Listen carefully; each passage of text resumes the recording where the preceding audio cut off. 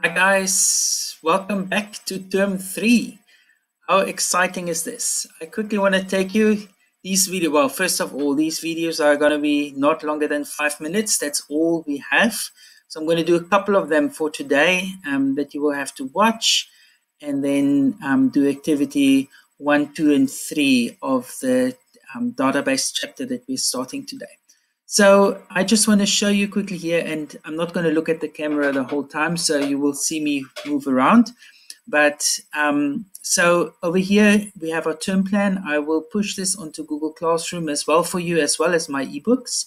So you have that for you. You can see um, everything that um, we will be covering this term. So we're going to start with an introduction to databases today um, over the actually the couple of next um, few days and weeks. So the, the, the first um, week, this week, and a little bit of next week is going to be the theory of databases. But it's also very practical because I'm going to introduce you to Access, Microsoft Access. So we're going to do activity one to three today.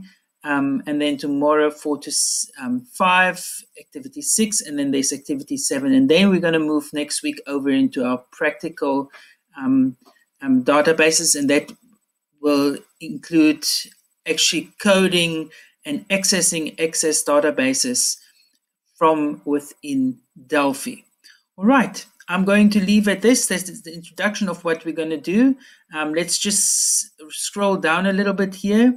Um, so you can see practical database, database, database, database, database, database, database. That's all that we're going to do um, this term in terms of practical. And then we have a little bit of theory that we need to cover. That's um, in the week 17th of August. Um, a little bit of revision. And then we have a IT theory paper that you have to write on databases. So um, this chapter 4.1 as well as 4.2 will be covered, and I think 3.2 will also be covered in this um, test that we will be writing. And then we'll continue with um, practical in terms of um, databases, and then we have PAT revision, um, PAT and revision, sorry.